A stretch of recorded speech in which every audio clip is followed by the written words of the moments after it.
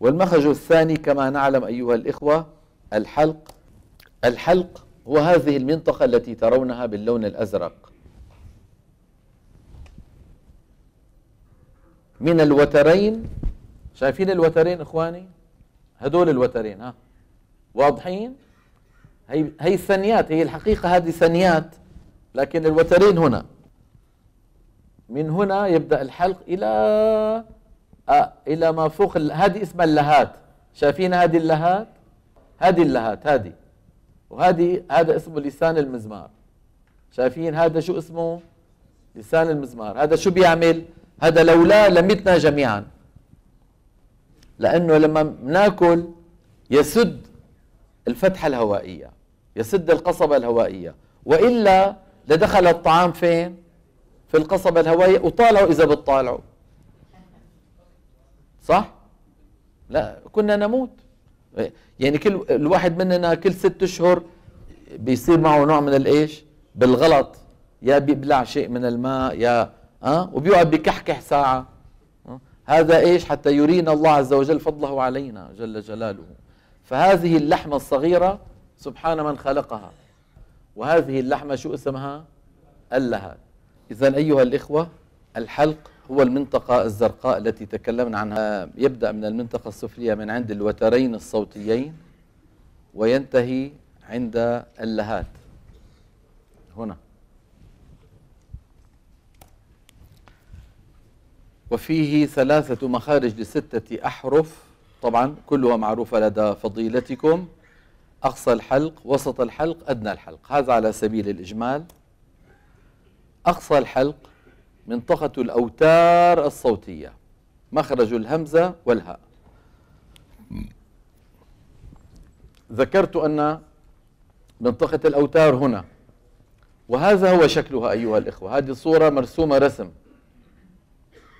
وهذان الأبيضان هما الوتران الصوتيان. بهما تتكلم كل البشرية. كل البشر يتكلمون بهاتين بهذين الوترين. هاتين اللحمتين الصغيرتين. لولاهما لما تكلم أحد. الهمزة كما ترون تخرج بانطباق الوترين. قولوا بعد إذنكم. قولوا يأتون. يأ. يأ. مشي الصوت. لا يأ ومشي الصوت. في مجال؟ ليه؟ لأنه الوترين منقفلان منقفلان. انتبهنا كيف؟ والهمزة المتحركة بالعكس. الهمزة المتحركة بالعكس. يكون الوتران ملتصقان ثم ماذا يفعلان؟ يبتعدان عن بعضهما. قولوا أ لاحظتم؟ أ البداية انقفال ثم إيه؟ انفتاح. أو أو إي إي يا. وضح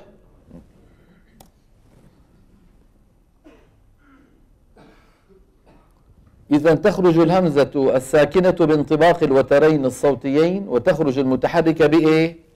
بتباعدهما بالعكس. الهاء تخرج بانفتاحهما الجزئي.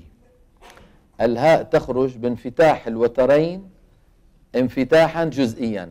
أه أه أه اهدنا اهدنا وجوه لا ريب فيه. ها هو هي. انتبهنا. الخطأ اللي ممكن يقع فيه المتكلم أيها الإخوة هو أن يباعد جدا بين الوترين عند نطق مين الهاء فيتدفق من بينهما كمية كبيرة من مين؟ من الهواء. فتفرغ الرئة من الهواء تفرغ الرئة من ويا ليت القارئ بعد كل هذا التعب نطق إيش؟ نطقها. انتبهنا؟ مثلا بيقول لك. لا ريب فيه. أه، ما بتسمعوا هيك؟ لا ريب فيه. أه، هذا شو عمل أخونا؟ بالغ في إبعاد الوترين. إذا الوتران يبتعدان عن بعضهما ولكن يبقى بينهما إيه؟ تقارب جزئي لا ريب فيه فيه اهدنا الصراط اهدنا اهدي اهدي. أما إذا قلنا اهدنا الصراط إه لاحظين؟ شو بيصير بالهواء؟ يفرغ من الرئتين ويا ليته نطقها. ما نطقها. وضح إخواننا الأمر سهل لكنه بحاجة إلى تدريب. الأمر سهل بحاجة إلى تدريب. هذا هو مين؟ أقصى الحلق منطقة إيه؟ الأوتار الصوتية. طبعا الاوتار هذا على سبيل المجاز وإلا فهما كم وتر وترين. انتبهنا؟ يعني إحنا بالعامي بنقول مثلا في السعودية بيقولوا رجولي رجولي عم تؤلمني رجولي ليش كم رجل لك له رجلتين لكن بيقول رجولي يعني فهذا آه، يعني مجاز في إيه؟ في التعبير من قديم الزمان العرب تستعمل هذا. طيب. وسط الحلق منطقة لسان المزمار. لسان المزمار هذا اللي حكينا عنه إخواننا. شايفينه؟ هذا هذا لسان المزمار. عند العين يرجع إلى الوراء إلى الجدار الخلفي. هذا اسمه الجدار الخلفي. شايفينه؟ هذا الطويل. الجدار الخلفي للحلق. واضح؟ هذا هو. لسان المزمار يرجع إلى الوراء عند نطق العين فيتضيق المخرج لكنه لا ينغلق. ركز. يتضيق لكن لا ينغلق. وفي نفس الوقت لازم يتضيق. بمعنى إن لم نرجع لسان المزمار لن تخرج عين صحيحة. يعني اسمعوا. إياك نعبد وإياك نستعين. أه؟ نعبد نا. وين العين؟ ما في عين. انتبهنا لابد من إيه؟ من رجوع لسان المزمار وتضيق الحلق. إياك نعبد أع أع أع. واضح الصوت؟ أع ع عو عي. نعبد تعبدون. على. انتبهنا أما إذا لم نرجع لسان المزمار يبقى المخرج واسع. هذا التضيق الله يسلمكم. شايفينه؟ هذا التضيق هو الذي جعل العين بين الرخو والشديد وبين رخو والشديد عمر العين. لماذا العين حرف بين الرخو؟ نحن نعلم بأن الحرف الرخو وسيأتي معنا إن شاء الله بصفات الحروف إذا ربي شاء. الحرف الرخو هو الحرف الذي إيه؟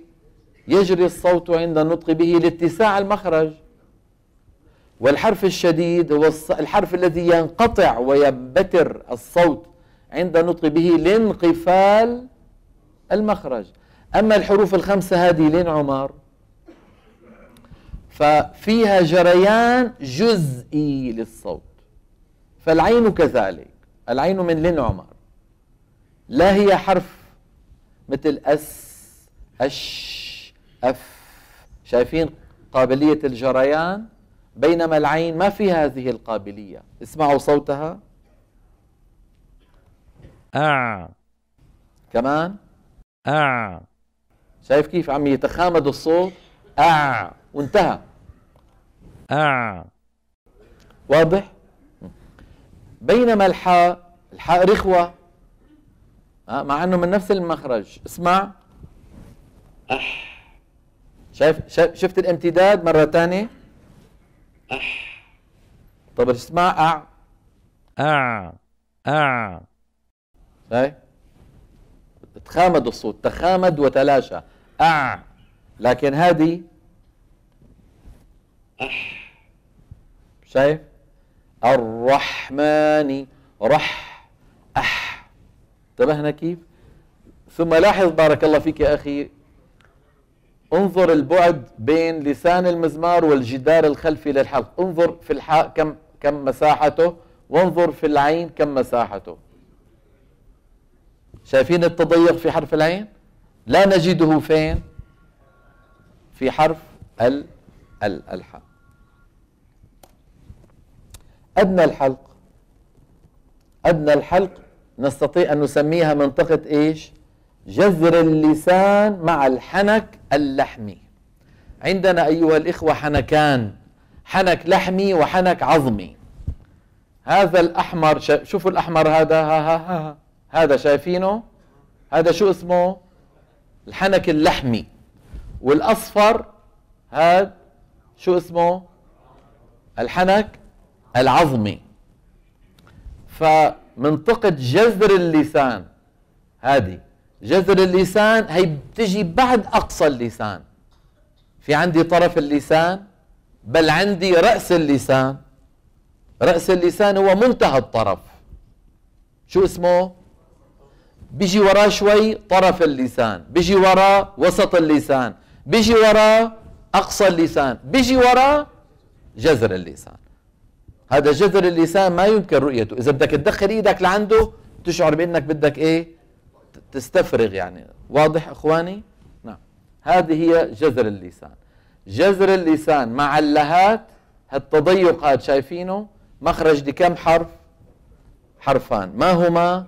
الغين هذا أحدها. وهذا مين؟ هذا الثاني اللي هو مين؟ الخاء. لاحظ بأنهما مرتبين أو بأنهما مرتبان. الغين أولا ثم مين؟ الخاء أعلى بقليل. إذا همز هاء عين حاء غين خاء. همز هاء عين حاء غين خاء. سيبويه شو قال همز ألف. هاء قال من أقصى اللسان شو بيطلع؟ ثلاث حروف. همزة ألف هاء وسط اللسان عين حاء أدنى اللسان غين خاء. فحروف الحلق عند سيبويه كم واحد؟ سبعة. عند الخليل ستة. بينبنى على هالحديث شيء؟ ما بينبنى عليه شيء لأني شرحت لكم. واضح إخواني؟ هذا هو الحلق. نسأل الله أن يكرمنا وإياكم بتلاوة ترضيه. والسلام عليكم ورحمة الله تعالى وبركاته. وكذا